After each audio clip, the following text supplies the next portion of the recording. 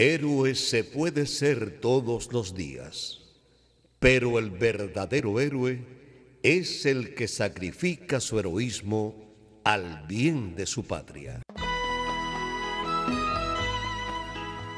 Los últimos soldados de la Guerra Fría.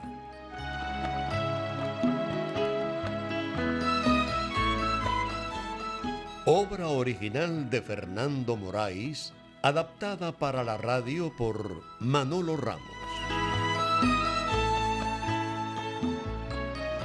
Asesor Amado Agramonte. Dirección Carlos Alberto Valdivia.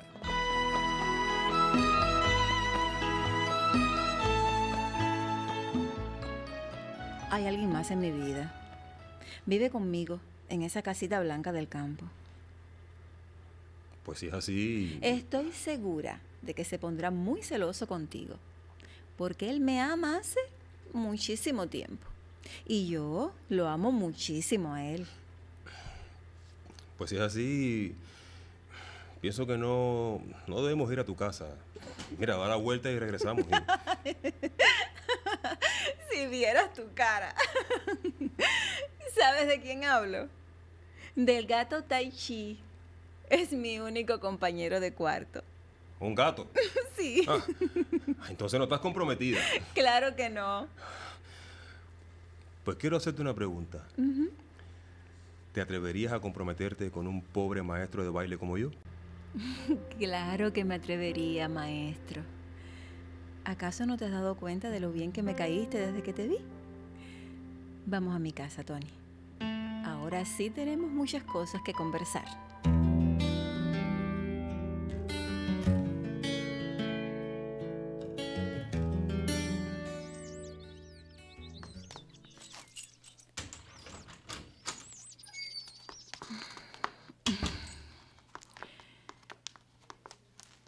Sentémonos, maestro. ¿Por qué me llamas así? Maestro. Porque eres mi maestro de baile. ¿O acaso no lo eres? Bueno, sí. Aunque ahora quisiera, aparte de tu maestro, ser algo más para ti. ¿Y lo eres? Ya lo eres. Te hablé ya sobre mi vida. Háblame ahora sobre la tuya.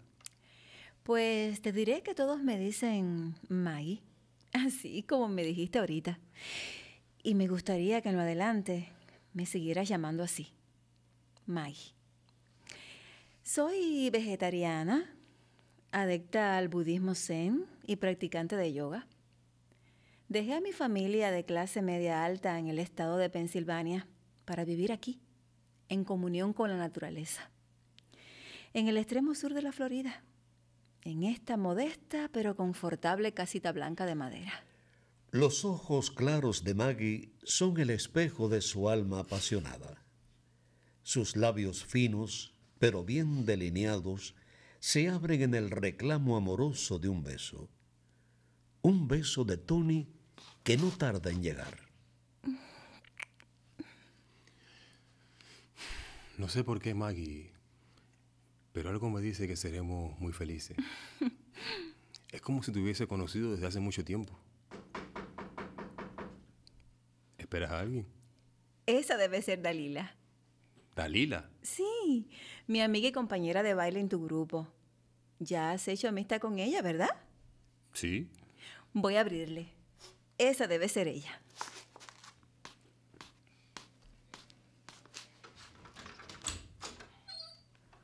Mi amiga, sabías que te hallaría aquí. Y vine a verte porque me dijeron que te robaste al maestro de baile y te lo llevaste en el auto. Sala bajito. Está aquí adentro conmigo. No me digas. Pues déjame entrar a verlo. Si me prometes que te vas rápido, sí. Te lo prometo. Entra.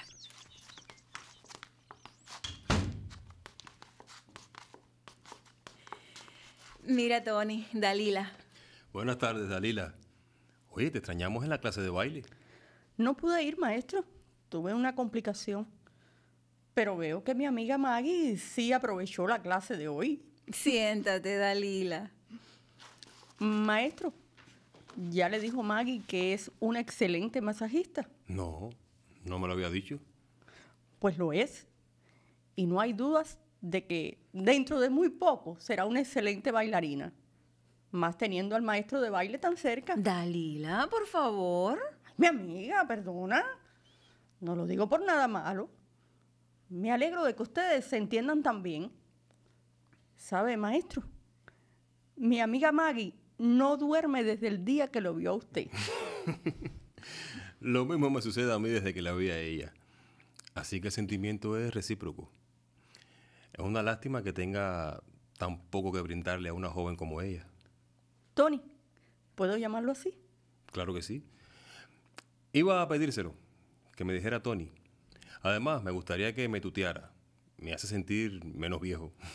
Bien, pues iba a preguntarte si aparte de dar clases de baile, no haces otra cosa. Soy ingeniero, pero ese título no vale para nada aquí en los Estados Unidos. Hago lo que aparece por ahí, pero no tengo trabajo fijo. Dalila, ¿tú no podrás ayudarle a conseguir algo en la base donde trabajas? ¿En la base? ¿Qué base es esa? Dalila trabaja como funcionaria del Departamento de Recursos Humanos de la base aeronaval de Boca Chica. ¿Eso es cierto? Sí. Y puedo decirte que el comando de Boca Chica tiene abiertas inscripciones para la contratación de personal civil. Allí puedes conseguir trabajo.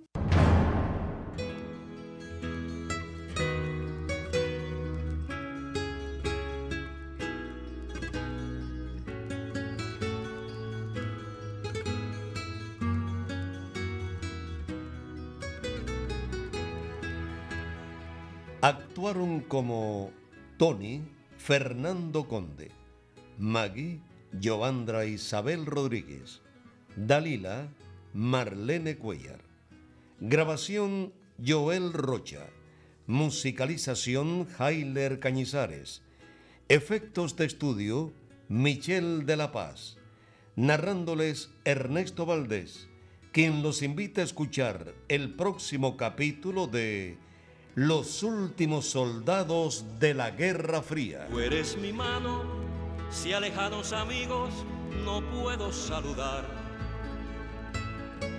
Tú eres mi voz, si en tribunas de ideas no puedo denunciar.